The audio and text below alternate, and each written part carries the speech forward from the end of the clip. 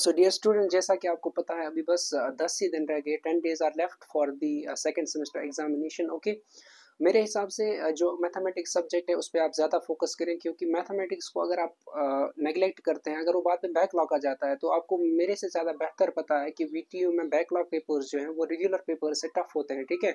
तो बेहतर यही रहेगा so better to start your preparation for the mathematics today itself okay so you have to spend four to five days on mathematics subject okay so that you will be good in solving the problems when are you face the problems in the examination okay बहुत सारे students क्या करते हैं, मैंने eighteen scheme के students को देखा है two thousand twenty one scheme के स्टूडेंट्स को, और जो फिफ्टीन स्कीम के स्टूडेंट्स हैं, वो भी मुझे टेक्स्ट करते रहते हैं कि आप हमें मैथमेटिक्स की पासिंग पैकेज सेंड करें, ठीक है? तो मसला क्या रहता है? स्टूडेंट जो है, वो नेग्लिजेंस दिखाते हैं मैथमेटिक्स सब्जेक्ट में, उनको लगता है कि ये बस एक नाइट का काम है, लेकिन ऐसा नहीं है।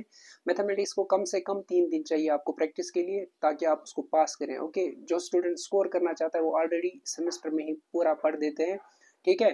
तो उन स्टूडेंट्स के लिए मेरा यही मैसेज है कि आज ही मैथमेटिक्स स्टार्ट करें जो पास करना चाहते हैं, ठीक है? तो आज से थोड़ा थोड़ा सा प्रिपरेशन स्टार्ट करें। इजी इजी चैप्टर जो है, जो मैंने डिस्कस किया है अपने पासिंग पैकेज में, हर किसी ब्रांच के लिए। अगर आपने अभी तक वीडियोस नहीं देखे तो आप मेरे चैनल को विज़िट करें। नाम यही रहेगा मोहसिन अली फोर्टीन तो वहाँ पर आपको ये सभी वीडियोज़ मिल जाएँगे और वहाँ पर आप देखेंगे कि कैसे पास करना है सब्जेक्ट्स को, क्योंकि बहुत सारे स्टूडेंट्स का फीडबैक भी मैंने लिया है। पिछले साल भी तो बहुत अच्छा फीडबैक रहा।